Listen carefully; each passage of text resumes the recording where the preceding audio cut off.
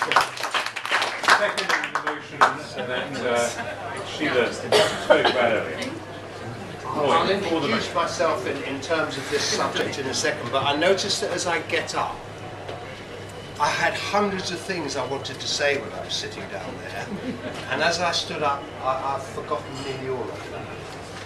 I want to make that point because it's the impact of your presence and being here in front of that has had that tremendous. My tummy is churning, I've got slight shivers, so I've got a, a very visceral response to the fact that we are face to face and that you will have thoughts and feelings as I do, and that you might judge me. Now, I want to create my qualification both as a professional, so I must. I, can anyone, everybody hear me, by the way? Am I loud enough? Um, I'm a psychologist and a psychotherapist. That's my background in terms of my training and, and education. I'm a professional researcher. You, you may have bumped into my name um, from time to time. But I, I think that that physical presence is something I, I, I think more, is more and more important. I'm publishing on it fairly soon, and I've studied the online world, and I'm, my qualification to speak on this topic is from my experience. So I have a website. I get about a thousand visitors a month. I blog. I, I blog. I blog both on research matters, but I also blog on what I think is the most threatening issue in our society today: the growth of inequality. I also tweet 300 tweets, and and I, and I link my Twitter to, to my blog. So I'm very active on it. I love it. But is it what I'm really interested in? Is it the thing that I wake up at one o'clock in the morning thinking, oh fuck, either oh fuck yeah or oh fuck no, about? On the whole, it's not. Because it operates at the level of the professional, you know, we, we, we put our professional information out there. Level one, I call the level of professional, largely transactional. Here I am, I'm, an, I'm a consultant, I do this, you know, do you want to buy me, con- contact me here at the professional level and also level two, which is where we're at now, which I call the public level. So this is the conversation that we have in public.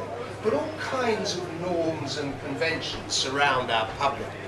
I, I realised that I just swore twice. I thought, oh my God, I promised not to do that because it goes on these films and then blah, blah, blah. you know. My reputation is whatever.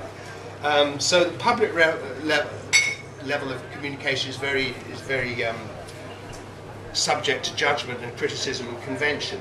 But the levels that really turn me on, the levels of communication where I think the juice in life is, and that's why I've made my career trying to get to these levels with people, other people, are the personal. What's going on in John's personal reality and Stuart's? You know, has Stuart left the room in your mind since since we've been here? Have you been out? back home or to somewhere else, or have you managed to stay with us all the time? So personal reality is really interesting. It's where the wheels turn and where everything goes on. And then there's private. That's the stuff you really do wake up the middle of the night thinking about. The feelings attached to the bigger emotions, love, anger, shame, all of those things that really turn the wheels in our life. I've studied and, and made my professional life around being able to make contact with people's personal and private worlds in conditions of safety, in conditions where there's permission for people to do themselves differently. Now, while there's some of that going on online, um, I think it's still largely small talk online. So I, I, you know, I have 300 Facebook friends. I'll talk about one friend, X. X posts pictures, a lot of pictures, 147 pictures last week.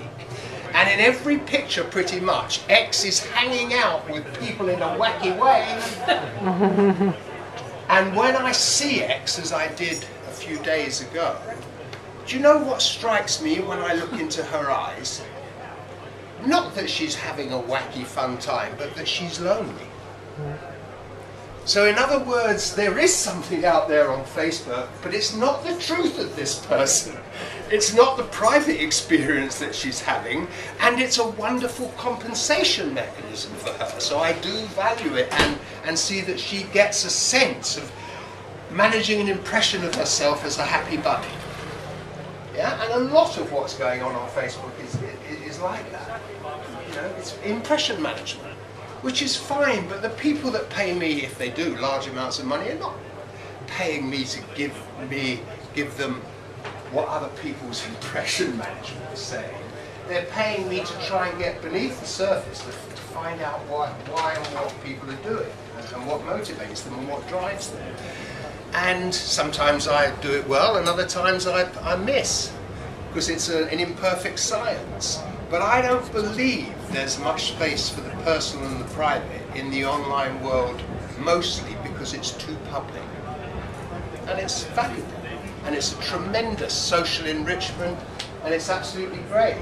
But if my work will disappear if we come to accept that level of transaction as all there is, if it's just the impression management that goes on on Facebook or whatever other social site you're on, then we will lose the depth in our communication. We will lose, you know, the, the reality of being physically together, the reality of your private world meeting my private world, and me learning from that and, and being changed by you. I'm not much changed by my Facebook engagement, although I'm titillated by it.